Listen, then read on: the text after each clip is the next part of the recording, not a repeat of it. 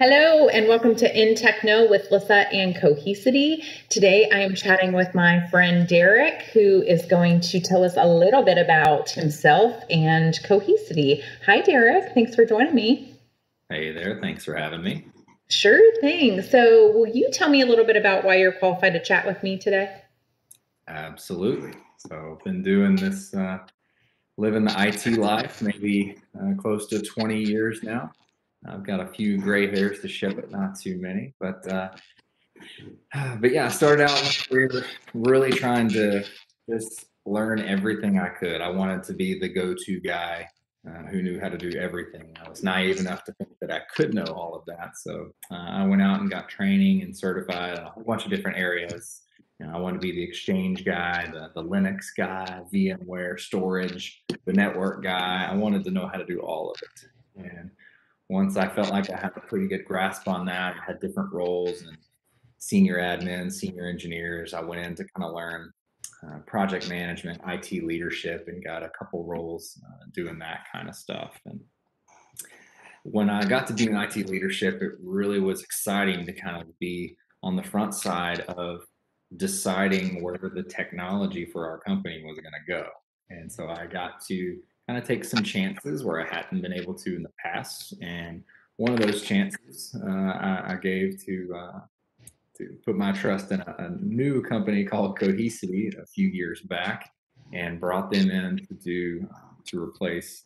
Uh, I guess three different backup products, um, a backup app, two backup applications uh, that are pretty well known, and then uh, kind of the main backup vendor that was known for their deduplication uh, and compression uh, appliances.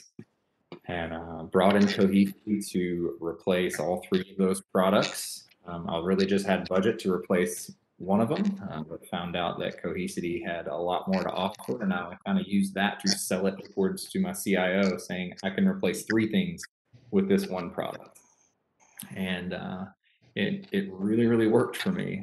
So I got to be really passionate about the company, started following them, and then just got on Cohesity's career site and just kept hitting refresh until they opened up a role right here in Nashville. And I basically went stalker mode so, until they gave me a job.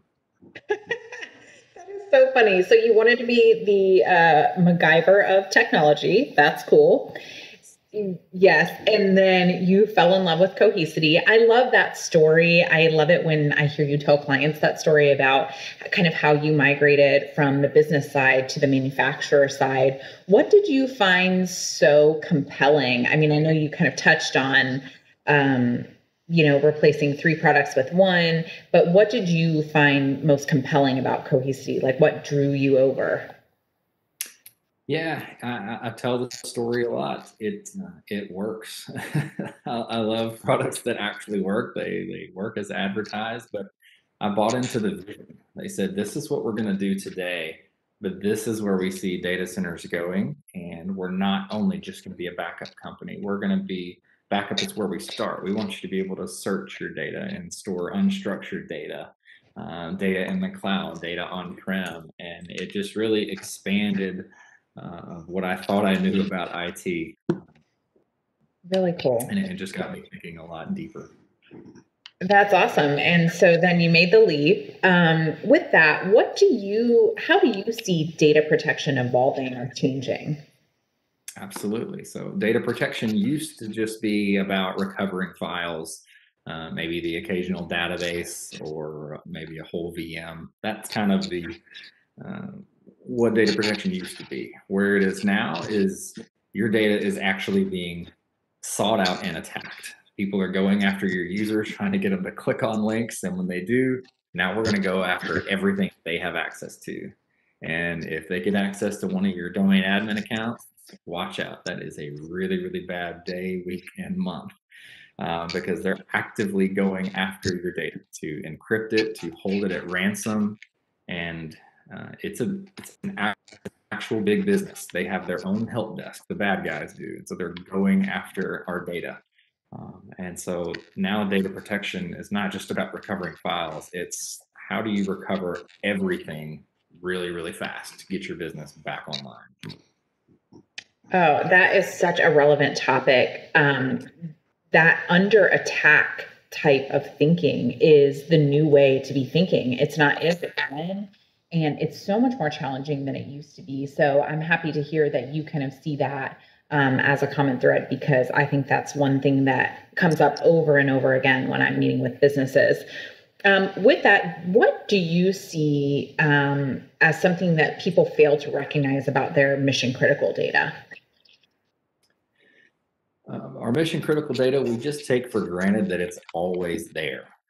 What does downtime actually cost us? Um, downtime of uh, the systems that run your production lines, downtime of the system that the physician accesses to pull up patient records, um, downtime of email. What does that cost your business? Um, not only just the time of your IT admin's hourly rate to get it back online, but um, missed revenue, um, customer reputation. You have to think about all of those things when you think about how to protect your data and how fast you can get it back. I, I don't think organizations think about that enough. Right. And it's hard to quantify. And so it, it, requires a tremendous amount of work to try to quantify that. And I think that that's the challenge, um, you know, that a lot of businesses are facing today, from my perspective, is quantifying that, that outage. What does that cost in soft costs and hard costs? Like you said, I mean, how do you quantify customer reputation? That's, you know, Absolutely. hard. That's really hard. Um, so, what do you see? I think we touched on it a little bit, but what do you see as the biggest concern or biggest challenge that businesses are facing now? Um, like I said earlier, they're just under attack. Um, so, with this latest SolarWinds uh, attack, they were going after big businesses. Um, a lot of government agencies are being selected out and specifically attacked. Healthcare organizations are being attacked right now. So, you have to really, you know, this needs to go up to the CEO level. They need to be having these conversations and put a contingency plan in place. Like, what happens? What are the first five steps we take when this happens? You know, does our company have a Bitcoin account? Do we have cyber insurance? Things like that. Things we don't typically think of. Um, that's where uh, that's where companies need to start thinking. Sure. Yeah. So with that, if you had to give um, a business owner advice about how to protect their data or what to do to protect their data, what would you say? I would say make this a priority.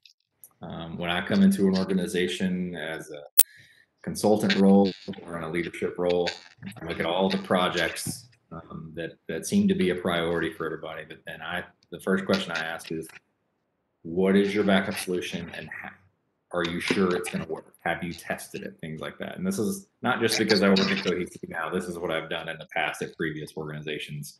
I come in and make sure that if something happens right now, I could recover from this. It, it may take a while, but I have to know that I can recover from it.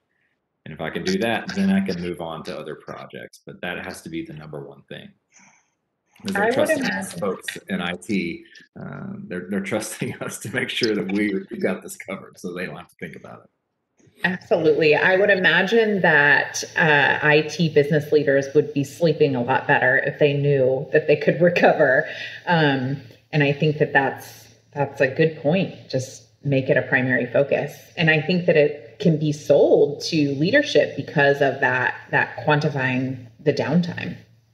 Absolutely. But, and that's where, you know, like you, Lisa, that's where you come in. Um, I used to really stress on the value part of value added reseller because I would build a relationship with my VAR and let them be the people that kind of filter filter out all the noise out there because everybody's got the best product out there and um, and you see a lot of that you get um, you know manufacturers calling you all the time wanting you to represent them. And so you talk to your engineers, you vet them for other companies because you understand what your customer needs. Let me go help find a solution that can fit your needs.